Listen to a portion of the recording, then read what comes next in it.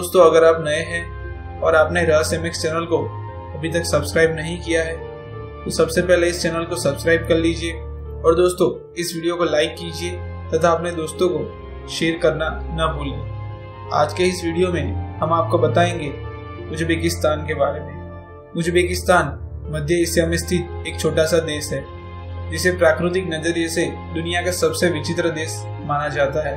यह मध्य एशिया का ऐसा देश है जहाँ पर्वत, नदी, झरने और मरुस्थल एक ही साथ देखा जाता है, जो इसे मध्य एशिया के अन्य देशों से काफ़ी अलग बना देता है।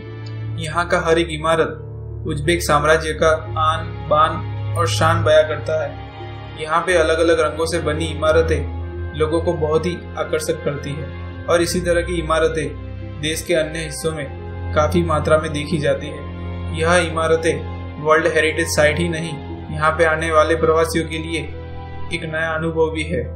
हर साल दुनिया के हर हिस्से से लाखों प्रवासी यहाँ घूमने के लिए आते हैं। सिर्फ़ उज्बेक की इमारत ही नहीं, यहाँ की संस्कृति भी बहुत ही आकर्षणीय मानी जाती है। और हज़ारों सालों से चली आ रही ये संस्कृति उज्बेकिस्तान, इतिहास और अस्तित्व का एक बहुत ही बड़ा स्तंभ माना जाता है। इतिहास गवाह है कि यहाँ का संगीत सदियों से दुनिया के एक बड़े अंश को प्रभावित करता रहा है। उज्बेकिस्तान को मध्य एशिया का सबसे ज़्यादा आबादी वाला देश माना जाता है, और यहाँ की आबादी लगभग तीन करोड़ से भी ज़्यादा है। उज्बेकिस्तान के इलाके सारे देश में अलग अलग है, जैसे पश्चिम में निचली ज़मीन है और समतल पत्थर है। वहीं मध्य में दुनिया के सबसे बड़े रेगिस्तानों में से एक है, और पूर्व में बड़े बड़े पहाड़ और अर्ध शुष्क घास के मैदान है। साल 2016 में उज्बेकिस्तान ने उन्नीस सौ इक्यानवे के बाद अपना पहला चुनाव आयोजित किया था। यहाँ के ज़्यादातर लोग उज्बेक प्रजाति के माने जाते हैं, जो मंगोल और ईरानी लोगों के सब मिश्रण में बने हैं। यहाँ के ज़्यादातर लोग उज्बेक भाषा में बात करते हैं। यहाँ पे लड़कियों को काफ़ी अधिकार दिए गए हैं। उज्बेक संस्कृति के अनुसार उज्बेक लड़का और लड़की एक दूसरे से हाथ नहीं मिलाते।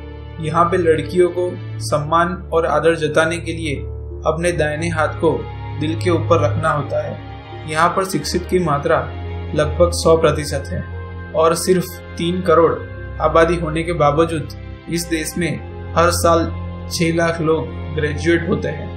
यहाँ का राजधानी और सबसे बड़ा शहर तस्किंट है, जिसको 1970 के दशक में बहुत ही आधुनिक तरीके से सजाया गया था। यहाँ पे लोग प्रतियायी लगभग भारत के बराबर है।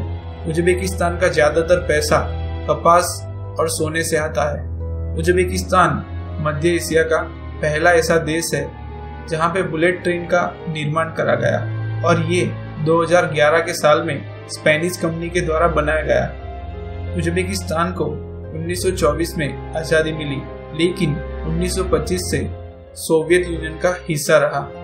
सोवियत यूनियन का सोच एक नास्तिक सोच होने के वजह से उज्बेक के हज़ारों साल पुराने संस्कृति पर एक गहरा चोट पहुँचाया गया। और अंत में, उन्नीस में, यानी कि 1991 में, सोवियत संघ टूटने के बाद उज्बेकिस्तान को आज़ादी मिली। तो दोस्तों, ये थी हमारी जानकारी उज्बेकिस्तान से जुड़ी हुई। आपको हमारी यह जानकारी कैसी लगी, इसके बारे में आपकी राय व कमेंट हमें ज़रूर लिख दीजिए। दोस्तों, आप अपने सुझाव इस वीडियो के कमेंट सेक्शन में लिख सकते हैं। इस वीडियो को लाइक कीजिए तथा अपने दोस्तों को शेयर करना मत भूलिए। धन्यवाद।